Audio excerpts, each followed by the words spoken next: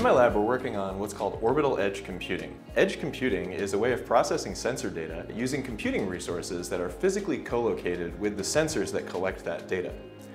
The advantage of edge computing is that we don't need to spend a lot of time and energy sending those sensor data from the sensor to a cloud or to a data center for processing.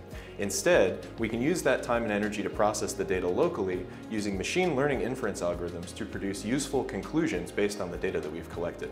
We're taking the ideas of edge computing and applying those ideas in nanosatellites. A nanosatellite is a small form factor satellite that we can easily, cheaply, and rapidly deploy to orbit in large numbers.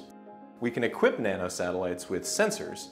These sensors can collect lots of different types of useful data, like images using image sensors or hyperspectral data. These types of sensors are useful for climate science and for predicting space weather, and also for precision agriculture applications.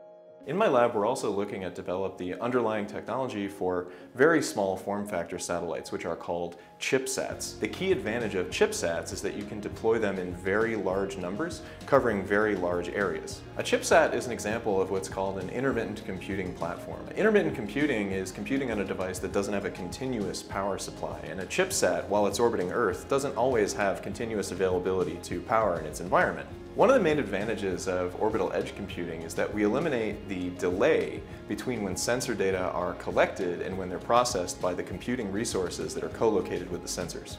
By eliminating that delay, we make applications that process orbital sensor data much more responsive.